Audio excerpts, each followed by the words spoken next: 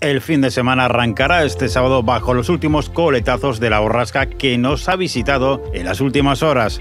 Ibiza y Formentera seguirán advertidas por la alerta amarilla por tormentas hasta las primeras horas posteriores al amanecer. En Mallorca y Menorca podrían también registrarse algunas precipitaciones por la mañana. En todas las Islas Baleares, a partir del mediodía, el cielo se irá despejando para acabar el sábado con pocas nubes. Las temperaturas, influidas por las lluvias, seguirán bajando por la noche y se mantendrán de día sobre máximas de 20 grados en Palma, Formentera y Ciudadela todo ello marcado por los vientos que soplarán de norte y nordeste con intervalos fuertes hasta el mediodía. El domingo seguirá la progresiva mejoría que arrancará el sábado por la tarde, aunque los intervalos nubosos aún podrían dejar caer alguna ligera precipitación ocasional y débil en Mallorca y también en Menorca. El viento de componente norte irá apaciguándose a medida que transcurra el día, lo que provocará que las temperaturas frescas de la noche escalen hasta los 23 grados de máxima a primeras horas de la tarde.